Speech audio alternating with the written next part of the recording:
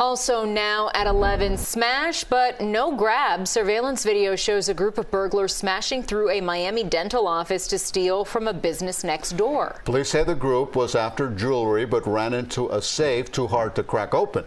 CBS News Miami's Larry Seward is in Miami with how it all ended.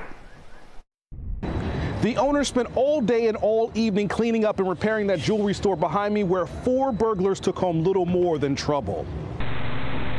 Caught on camera in the middle of your screen, that's a man bursting through drywall at Ashley Jewelry 2 in Miami around 3 Monday morning. On the roof of the dental office next door, police say a group dug a hole big enough for four men to pass through. Once inside, they burrowed through a soft spot in this shared wall with the jewelry store.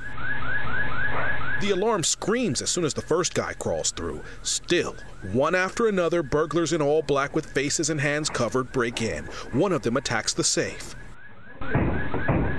Another crushes an alarm panel, but it continues to roar even with the cable snapped and the guy smashing it on the ground with a hammer over and over again. Another burglar tries to help his buddy struggling with the safe. They rip it off the wall.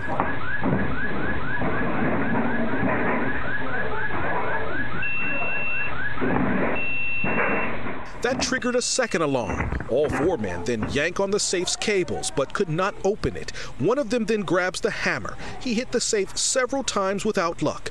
Two burglars look behind a wall, and as they wander around, video shows one guy wearing a red t shirt under his black jacket, and another with red cloth showing under a tear on his left shoulder.